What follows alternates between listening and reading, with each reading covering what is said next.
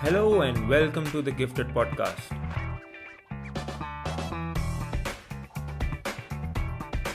I am your host, Niraj Mulani, and in the Gifted Podcast, I speak with elite athletes as we try to challenge the misconception that athletes are just some people who are talented or gifted with special abilities at birth.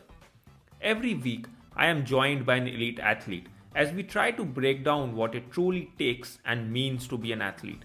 If you're an aspiring athlete or just a casual sports fan, you will definitely enjoy this podcast as I get candid with athletes about their journey, their achievements, moments of heartbreak, and most importantly, moments of hard work and perseverance.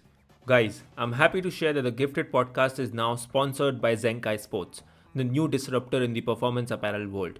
And they have come up with a great offer for the listeners of this podcast. So, stick around till the end and find out about this exciting offer. Today, I have with me Great Britain's Olympian in rowing, Stewart Innes. Stewart has a World Cup gold medal and a bronze at the World Championships. Stewart and I discuss how he came through a tough group of rowers and got selected to race at the Rio Olympics, where he finished fourth and narrowly missed out on a medal. Stewart also reflects on the injury setback he had after Rio and how that paved way for what he considers his biggest accomplishment overcoming the injury to compete again. Stewart also shares how the postponement of the Tokyo Olympics in 2020 forced him into retirement. So let's get right to it. Welcome to the Gifted Podcast, uh, Stewart. We're really, really excited to have you today. How are you doing? Yeah, very well, thank you. It's uh, been a strange year, but it's good to be here. Thanks. Perfect. And how is the retirement life suiting you now? Yeah, it's been a strange transition, particularly to not doing exactly what I planned at this point, but I think it was the right decision for me at the time, and it's still proving to be the right decision. Enjoying kind of doing slightly more normal things despite it being abnormal at the same time. I reckon not waking up again at 5 a.m. and then realizing there's no practice. Exactly that. Exactly that. Having a drink or two as well. Perfect. And I was keen to understand, and I also read this in, in some of the interviews that were released after your retirement, where we understood that the postponement of the Olympics was one of the primary reasons behind announcing your retirement. How do you think this postponement affected or disrupted your preparation for the Tokyo Olympics? And what made you take that final decision of calling it quits? So, for me, I've spent the last three or four years rehabbing a chronic injury and coming back from something like that is really defining. What I found was that it massively changed the athlete that I was and it changed who I was as a person as well. Those experiences that I'd gone through and and coming back into the sport, I felt out of place. I think the main crux of it on my retirement is that I couldn't carry on for another year. Medically speaking, I put my body under a lot of stress to be able to do it and in one kind of last ditch attempt to go for Tokyo. And I kind of always knew that it was a one time thing. And I had one shot at this to try and get it right and to try and get that medal that I craved. And with the games postponed, it wasn't really a choice. Right. And you had put four tough years into preparing for Tokyo. And then to decide to not put your body through another year of rigorous training and walking away from it. How tough was the call to retire for you? Yeah, so it took a long time to come to the decision to retire. As it, it had been a really tough cycle, a really tough four years put into it. But I think what it really came back to was the place that I had been medically, where I was struggling to walk without pain in everyday life, really made that decision for me. And the point that I was at where I could train, I can enjoy kind of sport and exercise as I always have, but I still need to do a lot of maintenance. Like going forward, that that's a good place to be in. But I was very aware of the toll that training three times a day very intensely was taking on my body. So that really took a lot of the pain out of the decision, I think, for me. Right. And you'd mentioned in our conversation, as well as other interviews that I have come across, where in spite of all the achievements that you've had in your career, you always mention that coming back from your injury and being able to put yourself in a position to give yourself a shot at the Tokyo Olympics is your biggest achievement. Why do you think it's that for you? And how do you think you navigated that time throughout injury and bringing yourself back into contention for the Olympics? Right. I mean, it's a really good question. Like, obviously, I had several pretty big landmarks in my career. Being selected for the Olympics in Great Britain when it's so competitive just to go. And I think that's something I experienced firsthand, particularly in rowing.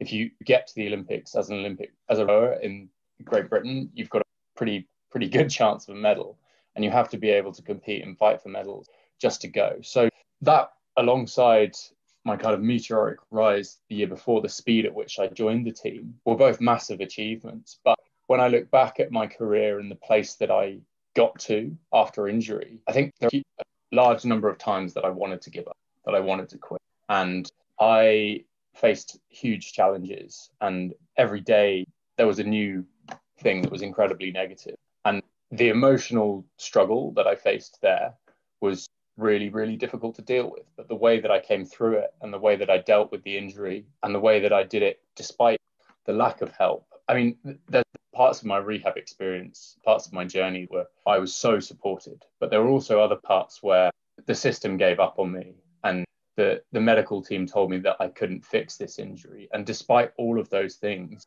and a year without having a coach or without having a team around me, to come through all of that definitely is my greatest achievement in sport and something that not every athlete could deal with.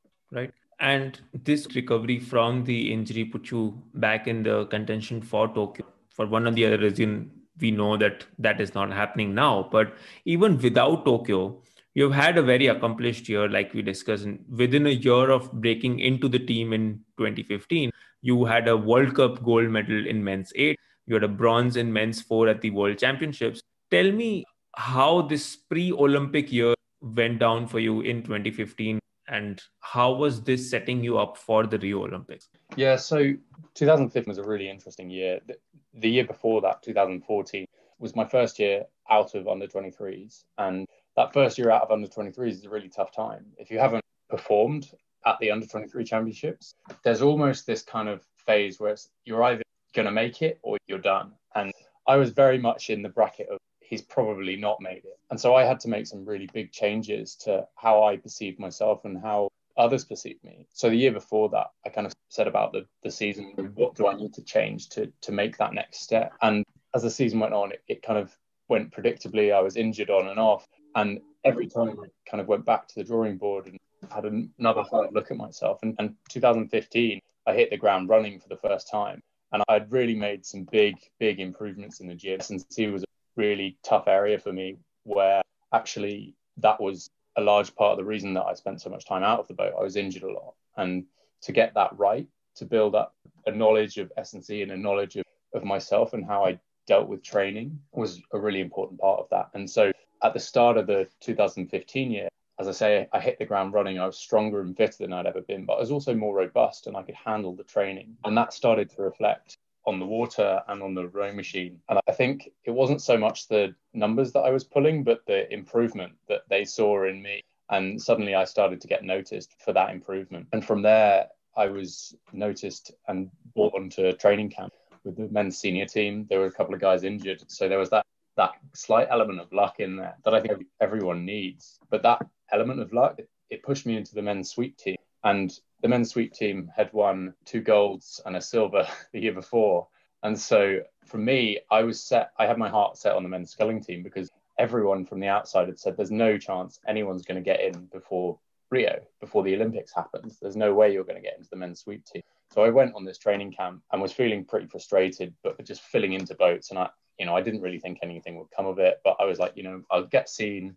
It's almost like doing a favor for them, really, to fill in. And, and actually, what transpired was that I fitted in really well and I didn't mess it up. And a lot of the time in rowing, if you can fit in and look the part, then that's really important. So from there, that then led to this whirlwind season. And so it was it was kind of a bit of being in the right place at the right time, but also also kind of aligning things with my training and starting to get things right myself.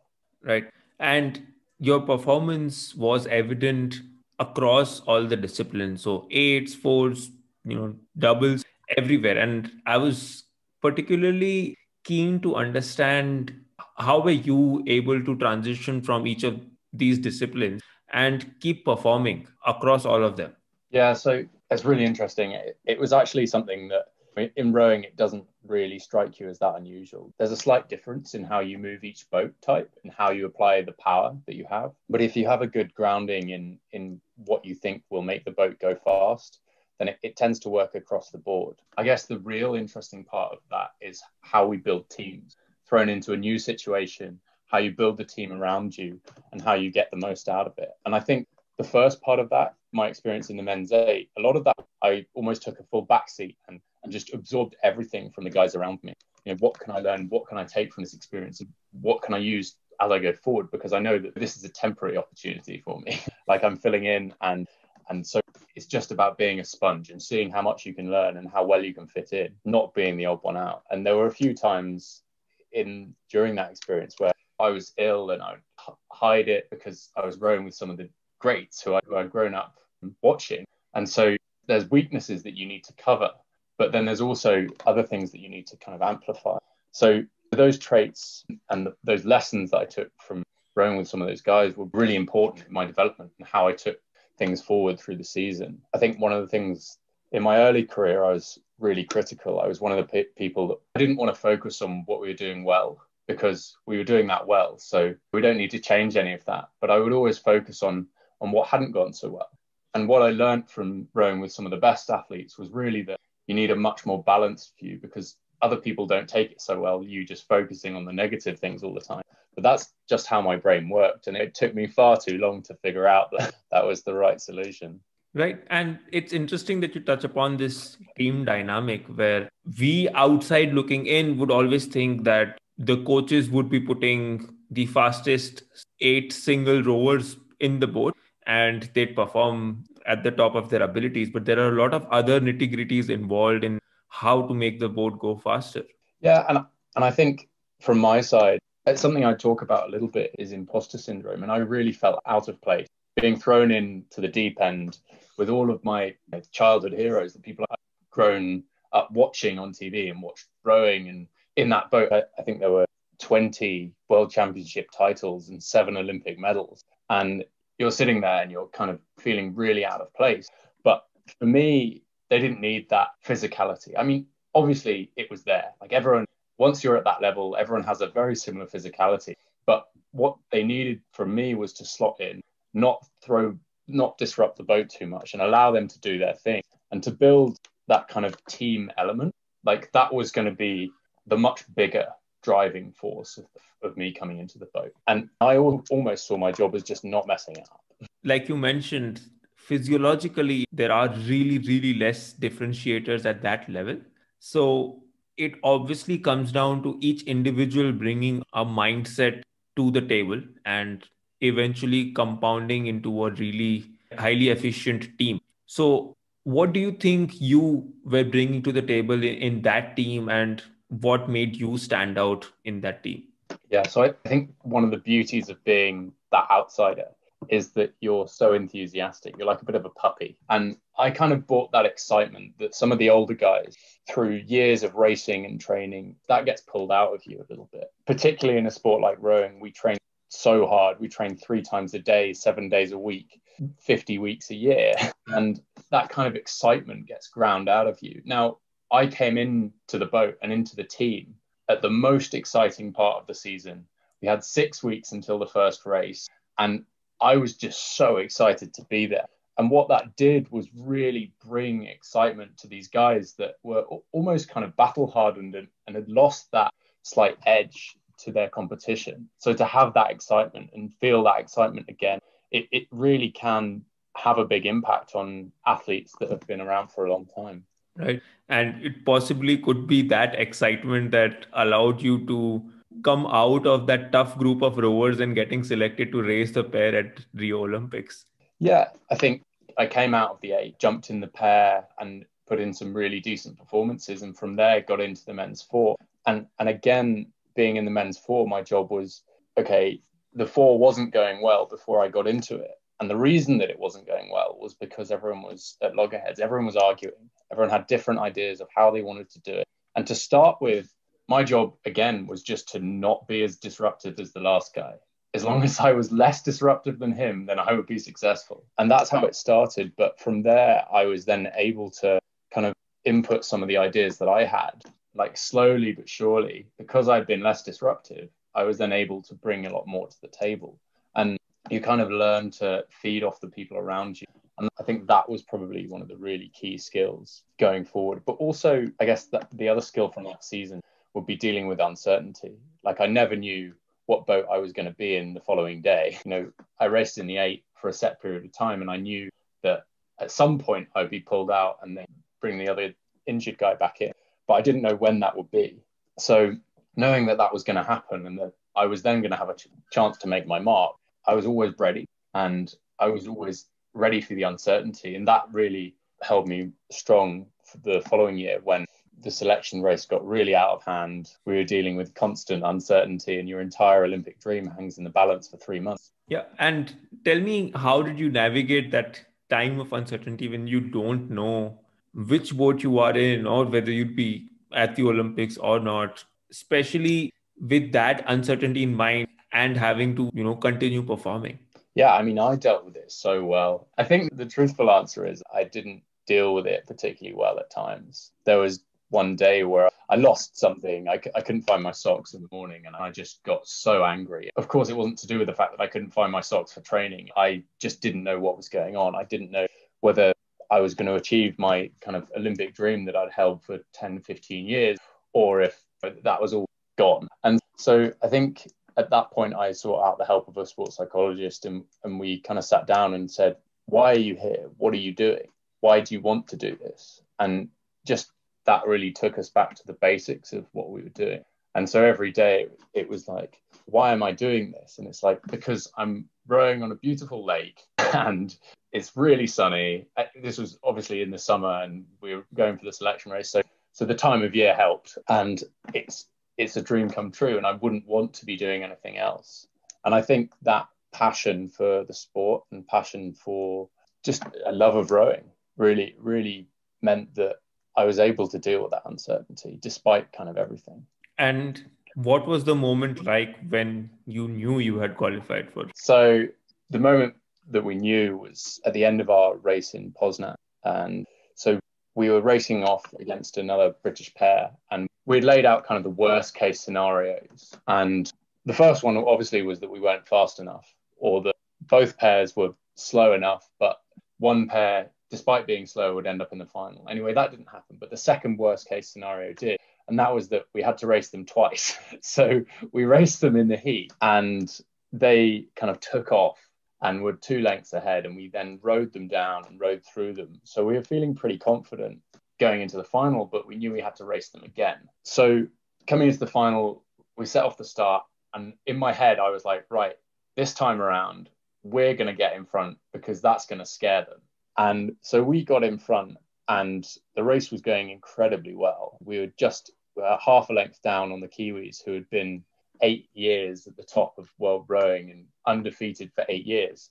And at this point, we got completely carried away with the Kiwis, forgot about our selection race, and decided to just go for it because no one had been this close. So we had a thousand meters of fantastic rowing, and then 500 meters holding on to the Kiwis and thinking, oh, we might have messed up the selection race here. And in the last kind of 200 meters, the other British pair was coming back on us really hard. So when we crossed the line, I was just so glad that the race was over, showing some serious inexperience or been slightly overzealous trying to race the Kiwis. But I think the moment we actually knew was was when we stood on the podium, and it, it was a really emotional experience from such an uncertain period uh, before that. But the fact that race had gone so well and that the wheels had come off kind of right at the end gave me a huge amount of confidence and made me think that actually we are incredibly fast and we have the talent to, to challenge for Olympic gold here if we get everything right. Um, and was it at this moment when the mind starts to go in a frenzy, trying to start preparing for the Olympic, Even though we know the body needs a rest from that current race, but you can't convince the mind at that time, can you? No, so actually the complete opposite happened. It was almost just like a big switch off, a big relief once you've been through something like that. I think it, it, it's very similar to if you've been working flat out in a, any sort of job and then suddenly you're on holiday and most people just get ill. You, your body's been functioning at a really high level.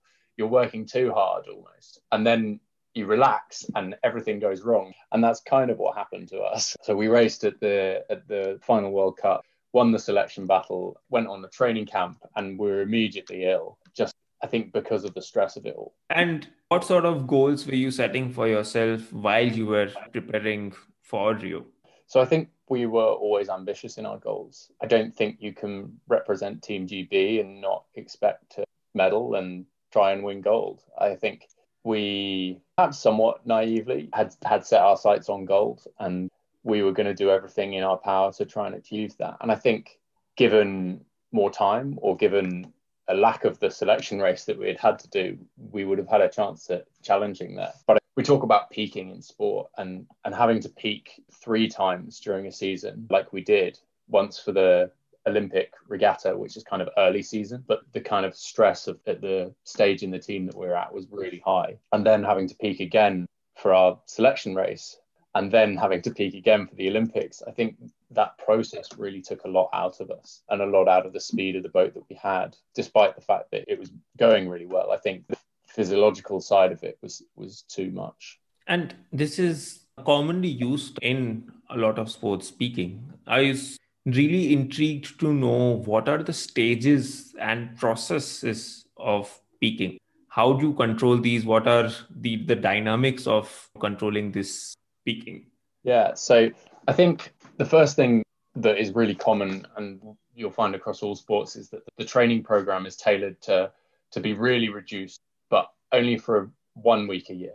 So if you have a big race, you train really hard, and then the week of you almost just recover. So you still need to keep the body functioning, you still need to keep going. But if you try and do that too often, if you try and kind of tailor up, taper off so you're in the best physical shape, then you'll lose fitness over the long period.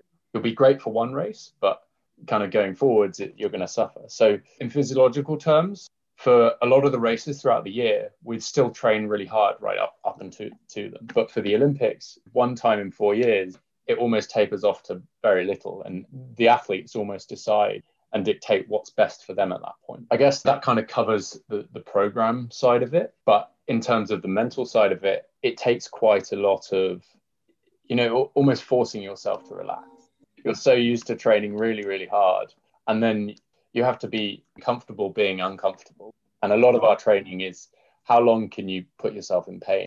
Well, I think the the period running into a massive race or, or a big competition and when you peak is getting comfortable being bored because you don't have the opportunity to go and do stuff well, you don't have the opportunity to go and train. And then also you've got loads of time on your hands, but you have to lie on your bed and do as little as you can to, to kind of get that effect right.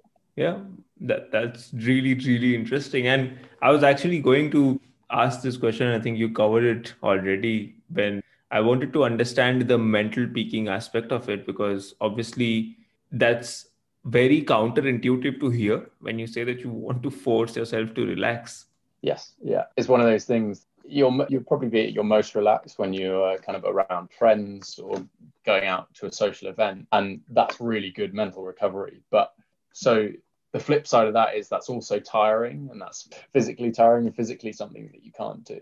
And so the forcing yourself to relax, very much like lockdown, is many of us have experienced now. You have to stay at home, sit on your bed, watch TV, and do not very much. Right. And now coming to Rio, how was your experience at the Rio Olympics and knowing that you achieved your dream of being an Olympian and then having a shot at chasing down another dream of yourself, which is medaling at an Olympics? What was your experience like and how did you feel narrowly missing out on the medal at the end of the race?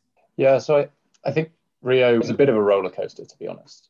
We went out to the games and knowing that we had a good chance of winning a medal if we got everything right. And we put everything together. We put together great race. We we were rowing incredibly well. It was really smooth. And the one of the things that you forget about rowing is it's an outdoor sport. And when you have this Olympic dream, you have this idea of crossing the finish line, standing up and celebrating. And rowing in men's pair, you're very susceptible to, to rough water. We got out to Rio and the conditions that we were rowing in were crazy. Is the only way to describe them. We had the first day we raced, there were sideways white horses, and any other race that I would have raced, that point would have been cancelled in conditions like that. And being the Olympics, you just don't expect that. And so I think that really blindsided me. The form book almost went out the window on the first day. The Dutch didn't make the final, having been expected to be up there fighting for a chance of medals. They, we had our eyes on them as, as strong competition. And you rode out to the start thinking the conditions were one way and you turn around and they were completely different. So there were quite a few curveballs thrown in. And I think that's probably true of anyone's Olympic experience, even if you don't have the conditions that were the big thing in Rio for the rowers. Even if you didn't have that, there's always going to be something that occurs that you don't expect. And it's down to you how much that's going to throw you. I think for us, it threw us a little bit. The first race was slightly strange, and we didn't row a full 2K leg between races because the conditions were too bad. But I think what really contributed to us finishing fourth was the selection battle, to be honest. I think we did everything in our control to set ourselves up well. And actually, the selection had really taken a lot out of us in the run up to Rio. And even after we were selected as the men's pair, we had the spare pair shadowing us the entire time. We trained with them all the time. It's like having a shadow behind you that hopes you'll trip up and fall on your face at any moment. So that was kind of a constant stress. Even though it was done, even though we were the ones racing and, and they weren't, there was that constant feeling, which was really counterproductive to performance. So I think crossing the finish line there's obvious feelings of devastation, particularly as you know we, we were what was second until the last 200 meters, just kind of ran out of steam. But I think that really shows more the the culmination of the season that that preceded it and factors to me that were out of our control in terms of fatigue going into a race like that. I think coming out of it, one of the things that I told myself was you don't win a medal at your first Olympics, and that's what the statistics shows. So I was obviously devastated, but had a huge amount of hope and a huge amount of confidence going forward that my career was heading in the right direction. Right. And what sort of interactions and conversations were you having with your teammate at this time? I mean, we talk about everything. In a men's pair, your teammate is your life partner. You, you don't have a choice in that. We shared a room for months and months on it, and we talked about everything. A lot of it, once we got to the games, was about how we would limit our interactions with sport so that we weren't overwhelmed. Once you start competing, you turn on the TV and the, the Olympics is everywhere and you can't switch off and you can't take your mind off it. So for us, we'd have like half an hour was the maximum we were allowed we would allow ourselves to indulge that kind of oh my god the olympics is happening all around us so it was a lot about kind of controlling our emotions and not allowing our, our minds to run away with what's next and what's happening and panic we stayed in a hotel two streets away from the beach and every night you'd hear thunderstorms rolling in and you're trying not to worry about how bad the conditions are going to be the following day. So there were kind of lots of little distraction tactics that we used in in those interactions between us. Keeping the monkey mind busy. Yeah exactly that. And now having retired and out of all the races that you have rode in and won as well which would you say is your personal favorite and why yeah, so I think there's actually one race that really springs to mind, and that was Henley in 2015. So after I'd raced in the men's eight, I came out of the men's eight and was racing in the spare pair. And we drew the South Africans on the Saturday, which is the semi-finals day. And it was a race that we just weren't expected to win. And it's a really boring race to watch, but we were down for over half the race and then we rode through them. But at that point, it was then really obvious that that was kind of it. It was just one move for the entire race, and and perhaps quite boring to watch. But actually, for me, it, it's what that race marks, and and that race really marked my arrival on the senior international scene. And I think there's a line in the commentary that Stewart Innes has rode himself into Olympic contention in this race, and I think that truly embodies what happened in that moment right. You know you brought a lot of excitement to the team and also your adaptability across all the disciplines was one of the key factors why you were able to contribute so much to the national team across all disciplines. But what would you say is the single biggest factor behind your success according to you? Perseverance. I started rowing as a junior and I had this vision of, of what I wanted to achieve. And to start with, it was I, I wanted to represent Great Britain at uh, World Championships. And once I achieved that, it was like, right, okay, I want to go to the Olympics. And and it wasn't something that I even spoke about for a number of years, but it was always kind of at the back of my mind. And I was never the strongest guy. I was never the fittest guy. I was never the most gifted. But I would always come back and go harder than anyone else and I'd kind of think around the problem and I think I had a knack for for rowing the rowing boat and the rowing stroke we talk about boat feel and that was something that I I really saw as my biggest strength I could feel what the boat was doing and I could tell when someone else's movement or any movement was throwing it off or, or slowing it down and so that really struck to the core of why I was able to be adaptable was this this kind of feeling of knowledge of how how the boat moved what slowed it down and what sped it up. And it also meant that I had some slightly different ideas to the to the crewmates around me. And at times, at times, I really struggled to get these across. But that kind of perseverance and that character that allowed me to keep going has been you know, the defining characteristic of my career. And even as I say, my my finest achievement is overcoming my injury. It's something that I don't think many athletes would have come back from. Right. And I think I totally agree with that. And also the reason why I think you're a true epitome of the athletes that we are trying to have in this podcast, where we talk about the hard work and the perseverance behind the athlete and not just the talent, not just the gift that they may have had at an early age in their sporting career. Yeah, I think being incredibly gifted can be a curse in sport. I heard a story of, of two kayakers. One who was incredibly gifted at a young age, and the other, his brother, was completely useless. And the the kayak club, you know, was desperate for this gifted guy to come down, but he he wasn't very keen. But the useless brother was so keen, and so they got both of them to come down to try and encourage the one that was gifted. And if you could bet on it, then anyone would have said that the gifted kid would one day be the Olympic champion, but it wasn't. And the the kid who was useless at the back was the one that became the Olympic champion. And I think that really embodies sport. Absolutely. And one of these aspects, perseverance, is often talked about in the overall concept of athlete mindset. And I know that you are doing some really interesting work on that project around the athlete mindset. Tell me about this project and your aspirations behind starting this venture. Yeah, so I'll just say in brief, I started a performance consulting and motivational speaking company called The Athlete Mindset. And the idea behind The Athlete Mindset is to share some of the lessons in resilience, teamwork, and perseverance that we develop as athletes. We make a lot of decisions that really shape how we come out as athletes, but also they shape our journey and they shape our lives. And we think about things very differently to your average person because of these experiences that we've had in sport. And so to share some of the skills that enable us to make these decisions, enable us to be resilient, and enable us to keep going almost no matter what, uh, despite all these setbacks and despite crippling odds that I was given when I was injured. So to share these lessons with people struggling in work or just struggling in life is a really important message and something that I'm quite passionate about. And that's the goal of the athlete mindset.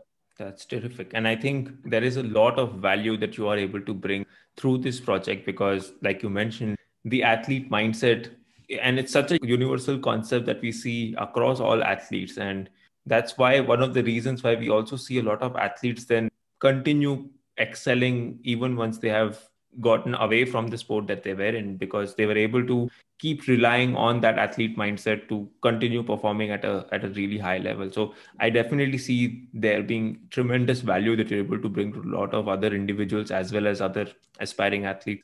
Yeah thank you. I think it really takes a, a certain discipline from to carry on with sport to such a high level.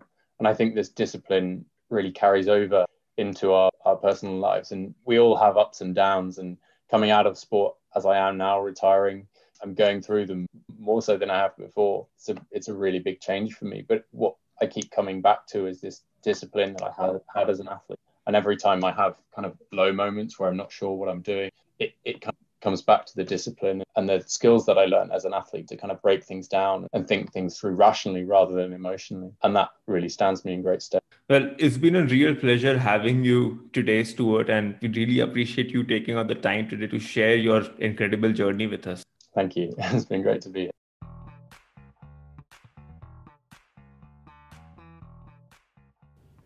Wow, another amazing guest with another amazing story. Stewart's attitude all throughout his career, while racing or while rehabilitating from his injury, is very inspiring.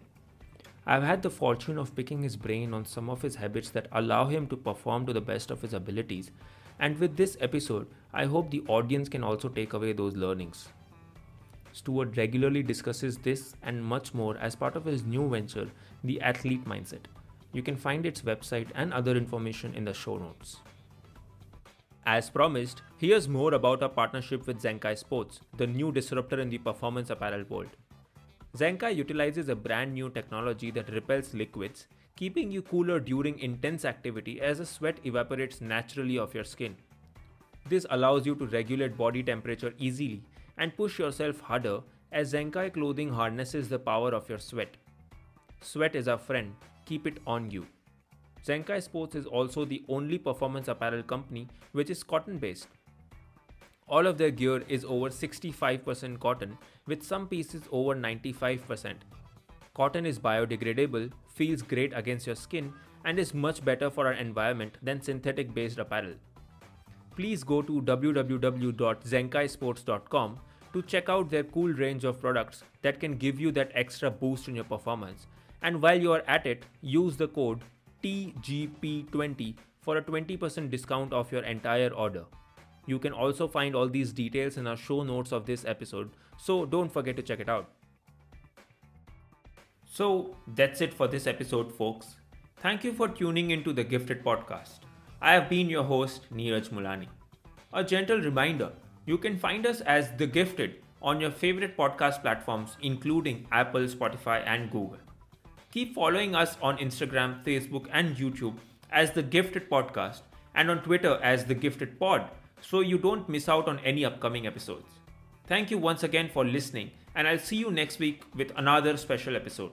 Until then, stay well and keep your masks on.